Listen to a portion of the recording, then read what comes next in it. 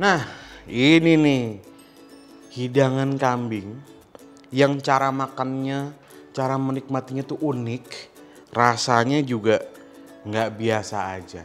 Kita cobain dulu. Gua akan cobain base daging kambingnya dulu. Kita cobain.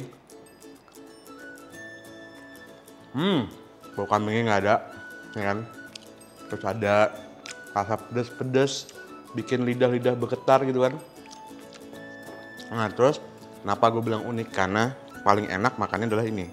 Bawang putihnya kita makan. Ambil dagingnya. Ya kan? Hmm, hmm. terus digigit cabenya. Hmm.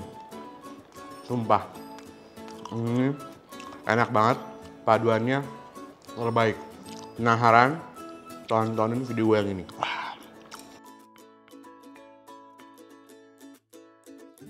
Oke, kita prep dulu. Uh, ini ada bawang bombay, dipotong aja. Jadi bawang bombay bakal dipakai buat jadi underlinernya.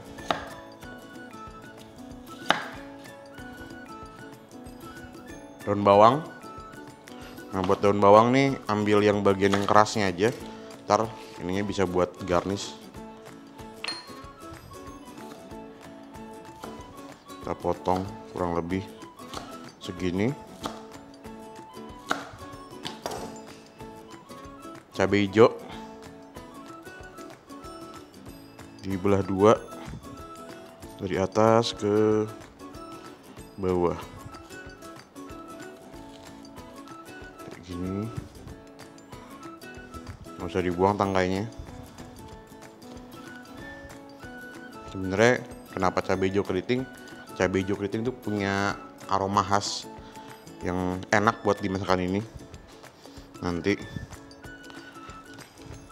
Kayak berapa hal lah kayak bikin sayur lodeh. Sayur lodeh gue prefer pakai cabai hijau sebenarnya.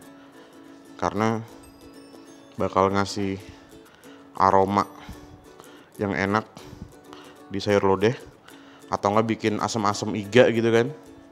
Itu enak pakai cabai hijau. Cabai kering. Dipotong gini aja dibuang si bijinya. Ini sebenarnya kalau misalkan teman-teman nggak nemu cabai keriting kayak gini eh cabai kering kayak gini mau pakai misalkan apa ya biasanya tuh ada bubuk cabai yang udah ada rasa-rasa itu kan pakai itu boleh sih biar praktis. Atau enggak ya beli chili flake aja.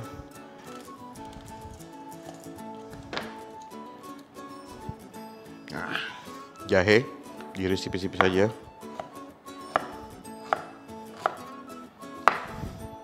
Sekarang baru kita siapin si daging kambing.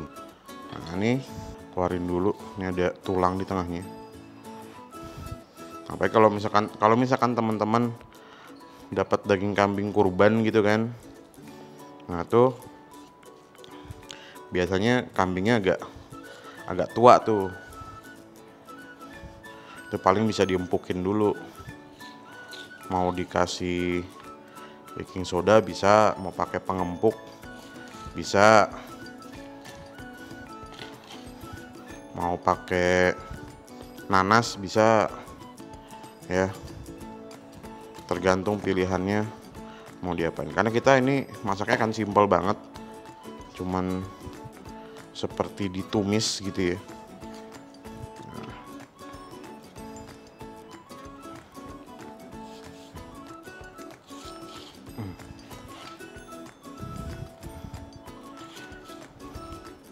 Tulangnya kita nggak pakai.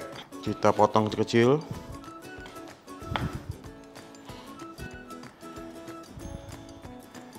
Ini bisa nggak diaplikasiin ke daging sapi? Bisa banget. Mau diganti daging daging sapi bisa. Tapi pasti beda ya rasanya. Daging kambing kan jauh lebih khas nih.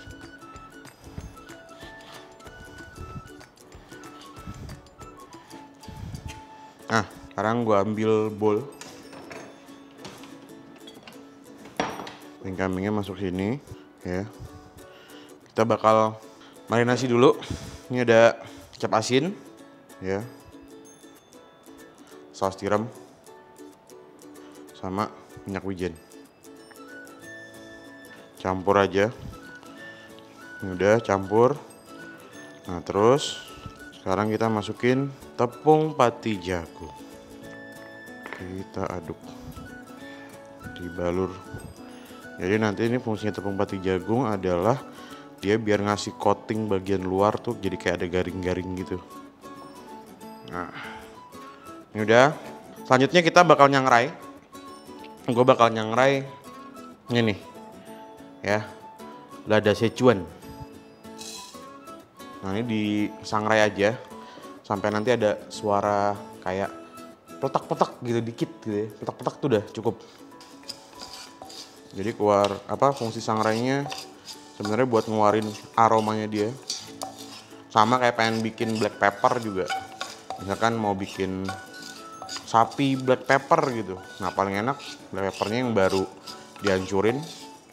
Dan sebelum dihancurin disangrai dulu. Nggak usah sampai petak-petak banyak. Dikit aja. Asal dia udah ngebretek ngemeletak dikit udah cukup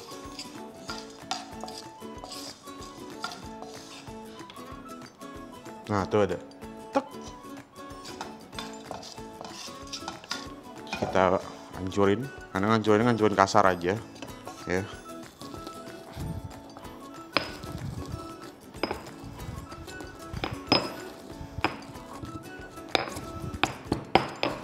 Itu cukup. Nggak usah halus-halus banget.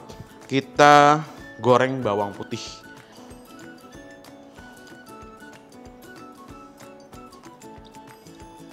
ini masukin dari sekarang aja ya jadi pas sebelum panas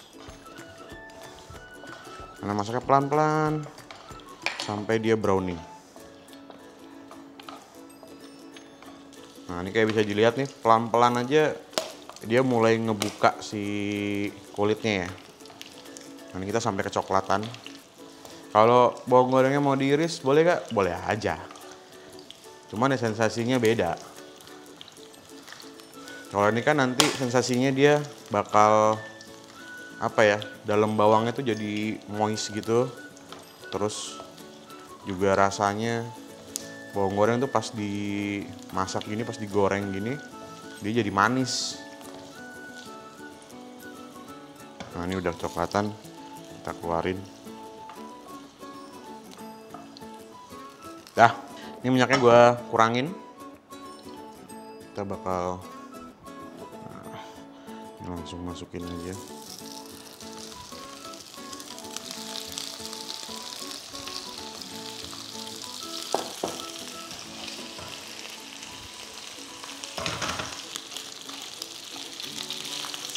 Ya.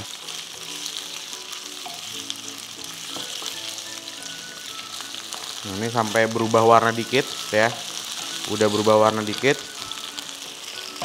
Kambingnya gue keluarin dulu. Jadi kenapa gue keluarin dulu nanti ditumis lagi. Ini cuman buat ngebuang minyak ini doang.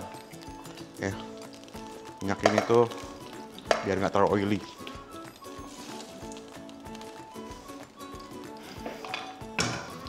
Nah ini masih pakai wajan yang tadi juga sebelum kita pakai masih ada sisa minyak kita keringin aja ya gua lap dulu biar nggak ada minyaknya. Terus kita akan panasin ini sampai bener-bener panas. Nah ini prosesnya dia bakal nggak terlalu lama cepet. Ini kita panasin sampai bener-bener panas dulu. Wajannya udah panas udah berasap nih. Sekarang baru kita masukin si kambing tadi ya. Kalau ada apa drippingan air di bawah bowlnya nggak usah dimasukin ya. Kalau misalkan mau dimasukin terakhir aja. Nah, jadi ngurangin kadar minyaknya sebenarnya biar nggak terlalu oily banget. Toh juga nanti ini akan keluar minyaknya karena ini daging kambingnya lumayan banyak lemaknya. Kapulaga putih masukin terusnya ada chili powder. Banyaknya kalau chili powder terserah nah ini ketumbar kita masukin si Szechuannya. Cabai kering sama ini jahe. Nah ini sambil cium-cium, kalau kurang aroma ketumbarnya tambahin daun bawang, daun bawang masuk, cabai hijau, kasih kaldu jamur, garam sedikit,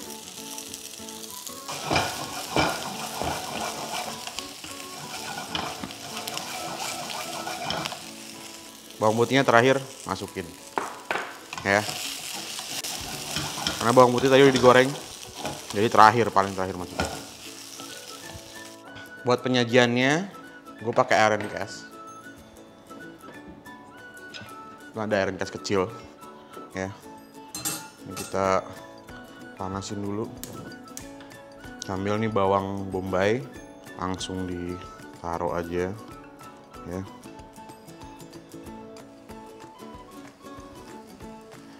nih minyak samin. Kita biarin sampai minyak saminnya meleleh dulu ya.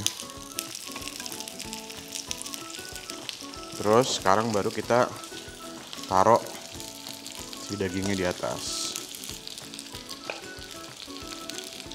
Jangan lupa bawang putihnya. Nah ini udah.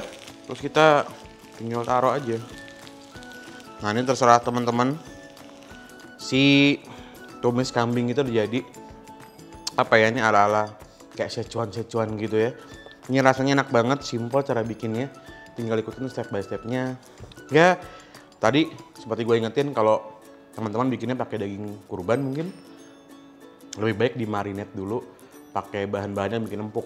Bisa pakai pengempuk atau pakai baking soda atau nggak pakai nanas ya. Tapi masing-masing pasti ada plus minusnya. Oke? Thank you udah nonton video kali ini. Jangan lupa tontonin video kita yang lainnya. Dan yang penting tetap di Masak TV anaknya ngeri-ngeri-ngeri. Dah.